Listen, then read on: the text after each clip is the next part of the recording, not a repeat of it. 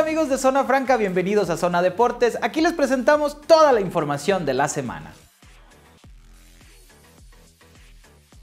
La selección mexicana preolímpica cumplió entre apretones y empujones, pero finalmente pudo quedarse con el título del torneo que se disputó en la ciudad de Guadalajara.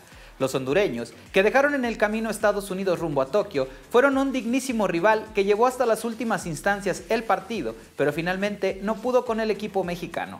Walter Rodríguez adelantó a los catrachos con un golazo de pierna zurda que dejó sin oportunidad a Talavera, y José Juan Macías empató de penal. Tras los tiempos extras, en la tanda de penales el Tri anotó los cinco disparos y el definitivo fue hecho por el jugador de Chivas, Alexis Vega. La que estuvo entre azul y buenas noches fue la selección mayor, que en su gira por Europa se trajo una victoria y una derrota.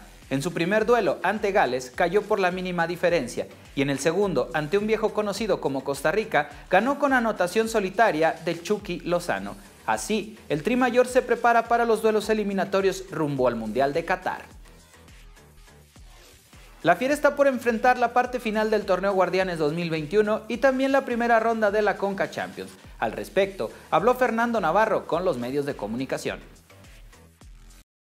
Si me dan la oportunidad, yo feliz y, trataré de ayudar a conseguir los objetivos grupales, pero, pero bueno, más allá de eso, es, más que eh, seguir trabajando en mi club y nada más, realmente no hay nada, es a Jaime lo conozco de haber jugado con él, pero no, no he platicado nunca con él.